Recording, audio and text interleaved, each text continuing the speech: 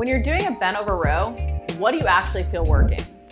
Do you feel your lower back or neck becoming irritated? Or do you feel your biceps fatiguing? Or do you actually feel your upper back and lats powering the pull? All too often, because of mobility restrictions and a lack of scapular control, we end up not getting the full benefit of this amazing back exercise.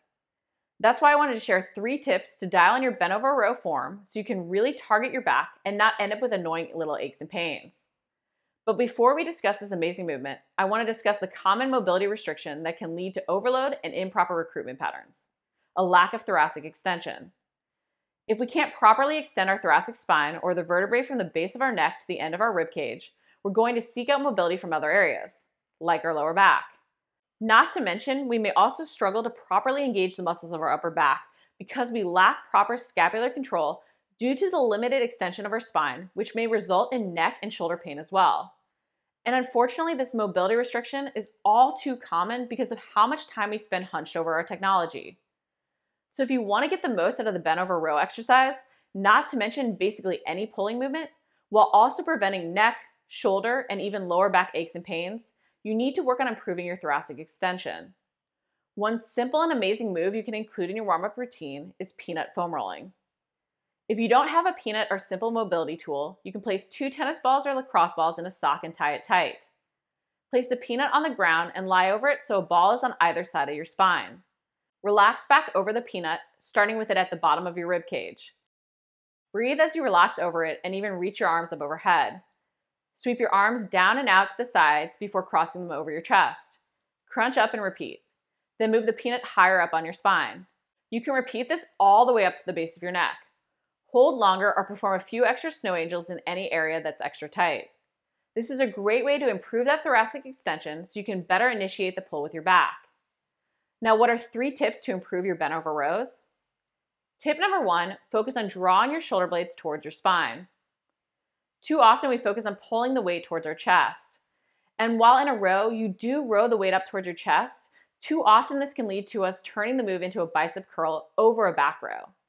Instead of cueing yourself this way, think about initiating the pull by moving your shoulder blades towards your spine as you bend your elbows to row the weight up.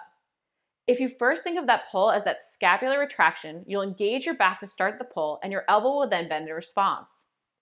Because your biceps are working, we just want them assisting over trying to do all of the work. By focusing on our back performing the pull and that scapular movement, we can also avoid exaggerating the row range of motion, which can lead to us shrugging and our neck becoming irritated. If you're so focused on rowing up higher, you may end up simply rounding your shoulder forward in an attempt to make the movement bigger overworking your back.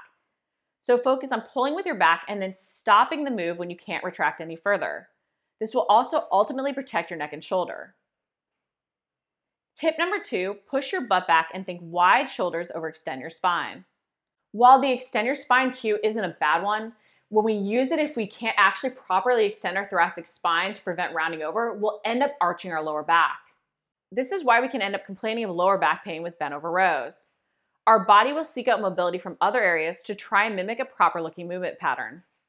So, by thinking wide shoulders or wide chest before you even hinge over, you can help cue yourself to not round forward while also avoiding arching your lower back. You may even find this cue helps you slightly engage your upper back to be aware of it before you even row up so that you aren't shrugging as you hinge over. This is key to avoiding irritating your neck. Then, as you hinge over, don't simply think about leaning forward. Cue yourself to push your butt back. Even starting out, you may find it helpful to have your butt facing a wall and think about pushing your butt back towards the wall behind you. Because by properly sitting back, we will engage our glutes and hamstrings properly to create a more solid base. This can also help us avoid rounding over or overloading or arching our lower back. So think about standing tall with wide shoulders before you push your butt back. That simple setup tweak can really help engage everything correctly before you even row. Tip number three, regress to progress. Because far too many of us spend far too much time hunched over our technology, it can be very easy to not benefit fully from this move.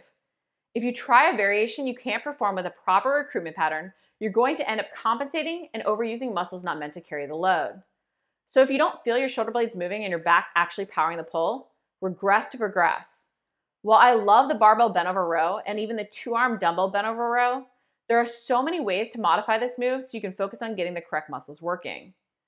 First, you can start by simply performing a unilateral row instead. When you focus on just one side at a time, it can be easier to make sure you're getting the correct muscles working. You also don't have to worry about compensating and using other muscles because your weaker side is trying to keep up with that stronger side during a bilateral row. Second, you can stagger your stance.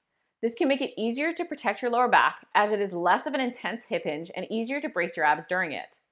If you really struggle with disengaging your lower back, you can also try a supported bent over row. Place your hand down on that front leg in a staggered stance or even on a bench.